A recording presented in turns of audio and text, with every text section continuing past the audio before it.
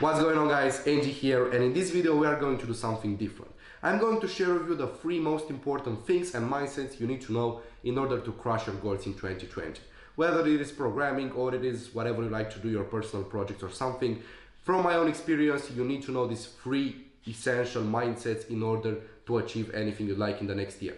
So let's get it started. They do anything except roll, still can't see them after it snows. I don't have time for the waste man jokes, personal. And the first one is you need a plan, all right? So I know how it is. You are super motivated. You set your goals for the next year.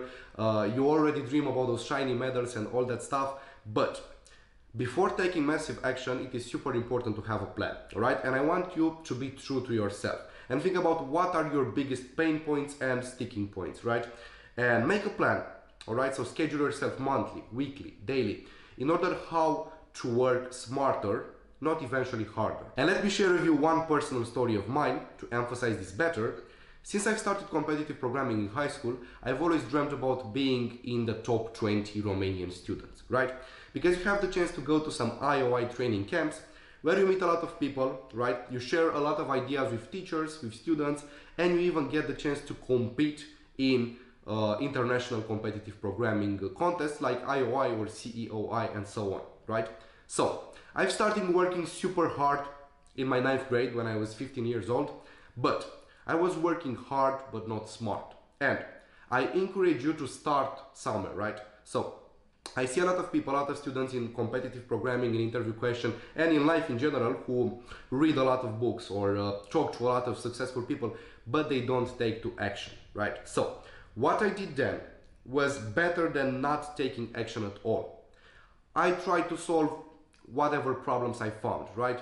I wasn't even thinking about the problems. I got to the solution really quick.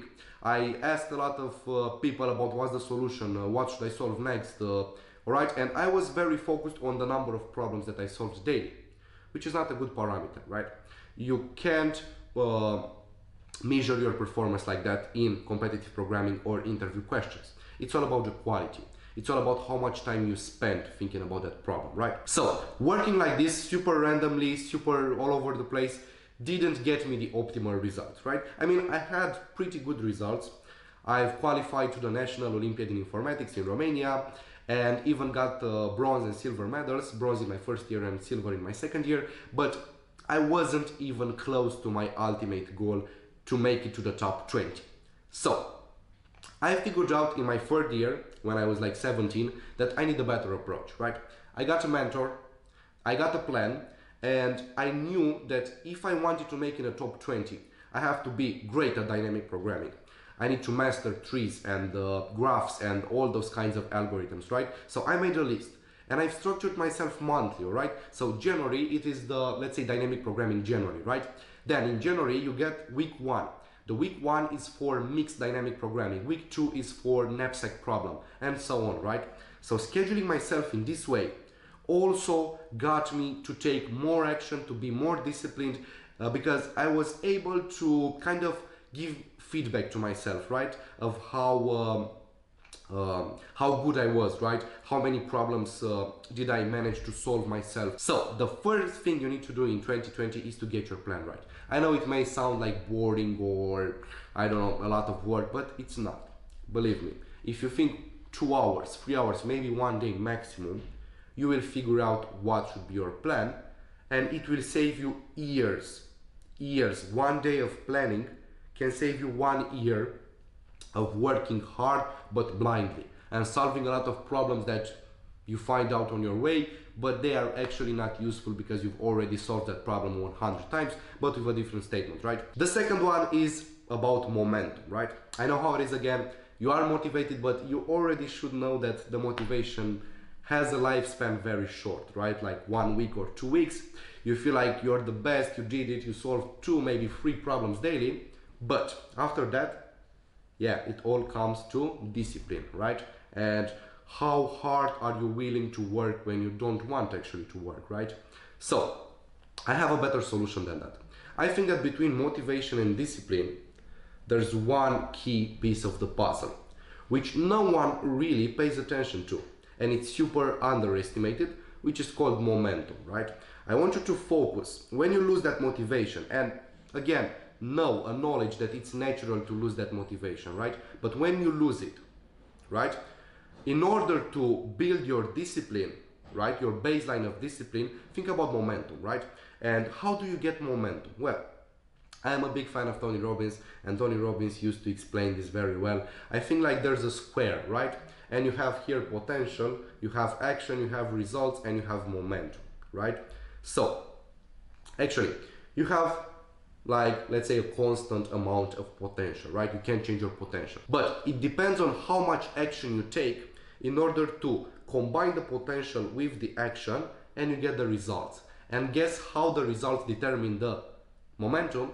If you have great results you will have momentum right? You'll feel confident. You would love more and more what you do because it pays off right? So with great results comes great momentum. But if you have that potential and you don't take action you won't have the results and you won't have the momentum. If you don't have the momentum, you will tap into less and less potential, right? Because you don't feel as motivated, you don't feel anymore that this would work, right? Like in the beginning. So this is super important, right? This momentum, if you have momentum, you will always tap into your full potential. You will always be motivated and determined to work more and more harder and harder and you'll have greater results. More momentum is yet to come and more potential is yet to be tapped in, right? So the second one was momentum. Focus on this. When you feel like you don't you're not in the mood to solve a problem, all right, let's say you're not motivated anymore, think about it's super easy to build momentum. It's a process that takes a couple of days, maybe one week, in which you should gradually increase the amount of work you do, the difficulty of problems you solve, and you will feel better and better about yourself. You build momentum and you're gonna feel amazing. And guess what? After a period of time, in which you build momentum, you learn how to build momentum and to get out of that uh, black hole, you know, where you're feeling tired and tired of solving problems. With those period of immersion in which you build momentum, you build discipline too. And when you have that discipline, you are unstoppable. And last but not least, guys, the third one is to make it fun. Enjoy the process, right? Let's say you want to land a job offer at Amazon, Google, Facebook, or you want to have that prize, that medal at competitive programming contest it takes time, right? It is a marathon, not a sprint. So, you should be able somehow to be consistent with your work during this long time span.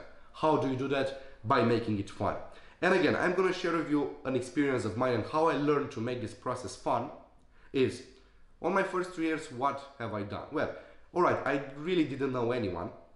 So yeah, but I was shy. I was afraid to contact anyone. I was afraid to ask for a solution. I was afraid to, I don't know, ask for feedback or even contact some of the guys which were uh, greater than me, which were more experienced than me, and they were super amazing people. So all I did is solving problems alone, and when not knowing the solution, I was too shy to ask for uh, hints or something like that. So yeah, it was a pretty painful process but actually I didn't want to make this better because it's super easy. There are a lot of great guys, there are a lot of communities. In this era, you have Facebook groups, you have a lot of platforms in which you work together, you have forums, you have everything. So oh, the only thing you don't have is you don't have any excuse to not make it fun. Find friends, mock interviews with them, uh, make yourself a team and start competing in competitive programming contests. Make yourself challenges. Let's say the weekly challenges to solve 10 dynamic programming problems and rank yourself like who's the first one, who solved the most, who's the second one.